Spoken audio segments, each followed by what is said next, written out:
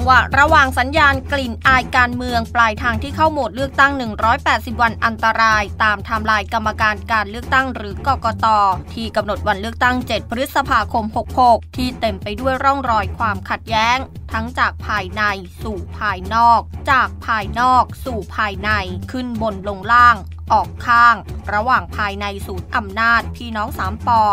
ระหว่างตึกไทยกับบ้านป่ารอยต่อ ไปยังพักหลักพลังประชารัฐ ถึงพักร่วมรัฐบาลประชาธิปัตย์ภูมิใจไทย และระหว่างพักฝ่ายค้านเพื่อไทย กับพักร่วมรัฐบาลภูมิใจไทย ที่กลายเป็นคู่มวยการเมืองหลายคู่ขัดแย้ง ที่วันนี้กลับพลันปรากฏภาพบรรยากาศการใช้ความรุนแรงถึงขั้นลงไม้ลงมือกับตัวละครการเมือง ที่มีบทบาทเป็นที่รู้จักคนหนึ่ง ในฐานะหนึ่งในนักร้อง ที่เป็นต้นทางหลายคดีสำคัญทางการเมือง อย่างพี่สีสีสุวรรณจันยา ที่ถูกนายวีรวิทย์รุ่งเรืองสิริพลหรือลุงศักดิ์หรือศักดีนาเสื้อแดง อายุ 62 ปี ยูทูบเบอร์เสื้อแดงคนดัง ที่เคยมีวีรกรรมบุกทำร้ายแรมโบอีสานเสกสกลอัฏฐาวงศ์ผู้ช่วยรัฐมนตรีประจำนายกรัฐมนตรีมาแล้ว โดยครั้งนี้ก่อเหตุบุกเข้าทำร้ายร่างกายพี่สี โดยการชกตบและเตะ พร้อมไลฟ์สดผ่านช่องสื่อของตัวเอ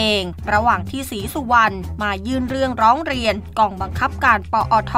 เรื่องการแสดงเดี่ยว 13 ของโนตอุดมแต้พาณิชย์กำลังให้สัมภาษณ์กับสื่อมวลชน แถมหลังก่อเหตุ ลุงศักดิ์ยังระบุให้ไลฟ์ว่าลุงมาทำตามสัญญา ทนไม่ได้ที่สีสุวรรณเที่ยวร้องเรียนไปเรื่อย ไม่รู้จักแยกแยะ ส่วนเรื่องคดีความไม่สน ขอทำตามสัญญาที่ให้ก่อน พร้อมขอบคุณทุกกำลังใจที่ส่งเข้ามา อยากให้ช่วยเหลือเรื่องทุนทรัพย์ หากต้องถูกดำเนินคดี ในขณะที่พี่สีนอกจากแจ้งความดำเนินคดีลุงศักดิ์ยังยืนยันใช้กฎหมายให้ถึงที่สุดไม่ยอมความ และย้ำว่าแม้จะมีความเห็นทางการเมืองขัดแย้งกัน แต่ก็ไม่ควรลงไม้ลงมือกันแบบนี้ ยิ่งถ้าพูดว่ามีแนวคิดประชาธิปไตย แต่มาทำร้ายร่างกายผู้ที่เห็นต่าง ตนคิดว่ามันย้อนแย้งกัน และยิ่งจะทำให้ฝั่งที่มีความคิดเห็นไปในทางเดียวกัน ดูแย่ลงไปอีก ซึ่งเหตุการณ์นี้คนจะมาเอาเป็นแบบอย่างหรือไม่ก็แล้วแต่ แต่ถ้าใครจะยื่นรื่องร้องเรียนแบบตน ก็อาจต้องมีเพื่อน มีกาดต้องระวังตัวเพิ่มมากขึ้น ครั้งนี้ถือว่าเป็นบทเรียนของสังคมกรณีหนึ่ง และถือเป็นเรื่องที่น่ากังวลเมื่ออยู่ในสังคมที่มีความหลากหลายทางความคิด ต้องระมัดระวังตัวเองมากขึ้น อย่ามัวแต่พึ่งสังคม อย่างไรก็ตามจะไม่หยุดยั้งในการทำหน้าที่ต่อไป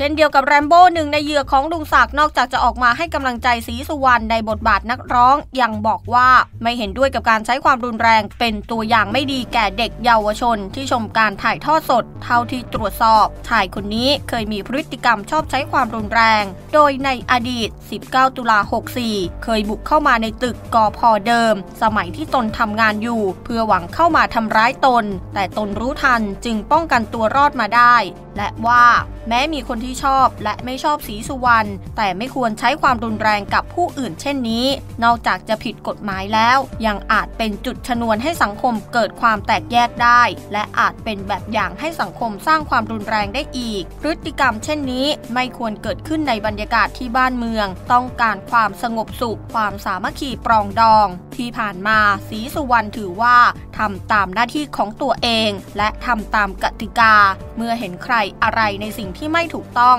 ก็ไปยื่นหนังสือให้มีการตรวจสอบเท่านั้น ซึ่งคนส่วนใหญ่เข้าใจตรงนี้ แต่คนส่วนน้อยที่ไม่เข้าใจ จะต้องยอมรับกติกาบ้านเมืองด้วย ไม่ใช่ไม่พอใจ ก็ใช้กำลังแก้ไขปัญหา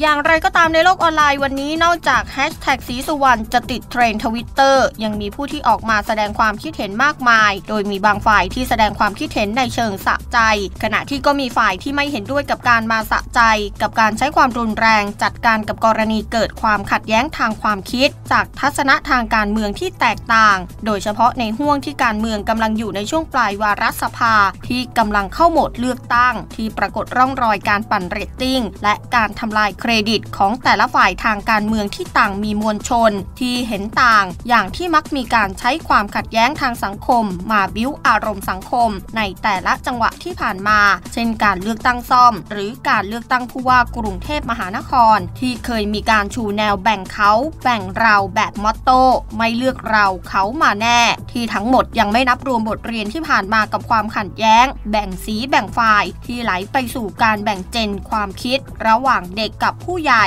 และเคยปรากฏร่องรอยการให้กำลังจากมวลชนของบางฝ่าย บางสีเข้ามาสร้างสถานการณ์ จนเกิดความบานปลาย เลือดตกยางออกกัน ไม่แปลกว่าสัญญาณความรุนแรงแบบลงไม้ลงมือกับพี่สีหนนี้ที่กำลังถูกไปบิ้วต่อจากแต่ละฝ่ายในกระแสสังคมที่ต่างมีสื่ออยู่ในมือผ่านโซเชียลในช่ววงปลายรัฐบาลนายกลุงตู่ที่ชูแนวทาง เลือกสงบจบที่ลุงจะถูกจับตามองด้วยความเป็นห่วง และกังวลจากผู้ใหญ่หลายฝ่ายไม่น้อย